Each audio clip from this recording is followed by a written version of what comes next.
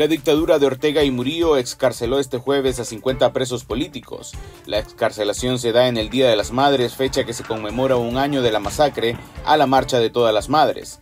El régimen, a través del Ministerio de Gobernación, presentó la lista de los 50 excarcelados.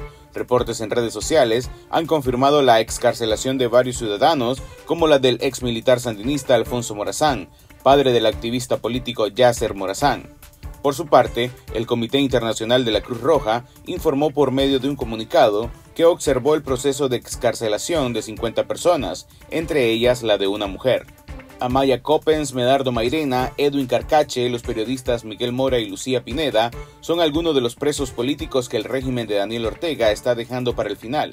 Sus nombres no figuran en la lista de la quinta escarcelación de reos políticos de Nicaragua.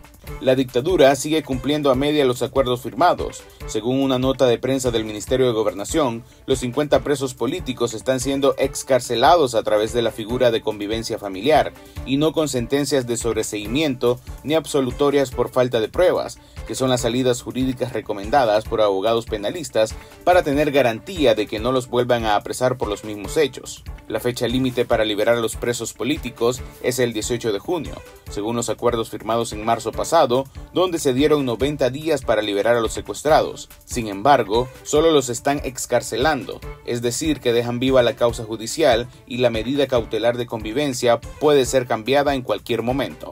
Diversas organizaciones de Nicaragua anunciaron su pleno respaldo a la Asociación Madres de Abril, que conmemoró este 30 de mayo con misas en Managua, León, Chinandega y Estelí, el primer aniversario del ataque a la llamada Madre de todas las marchas, que dejó al menos 19 muertos.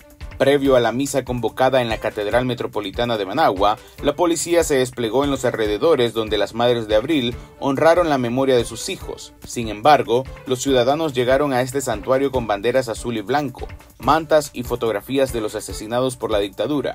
Justicia sí, amnistía no no es presidente, es un delincuente, gritaban los manifestantes. Además, autoconvocados realizaron un piquete dentro y fuera del edificio Pelas, ubicado en carretera Masaya.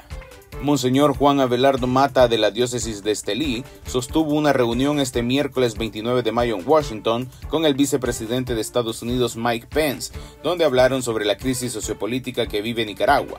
Pence expresó su preocupación por el estado de la libertad religiosa en el mundo y en especial en Nicaragua. Durante la reunión hemos sostenido un fructífero intercambio de ideas y experiencias dirigidas a la necesidad urgente de promover la libertad religiosa en todos los lugares en donde está amenazada, y en especial en Nicaragua.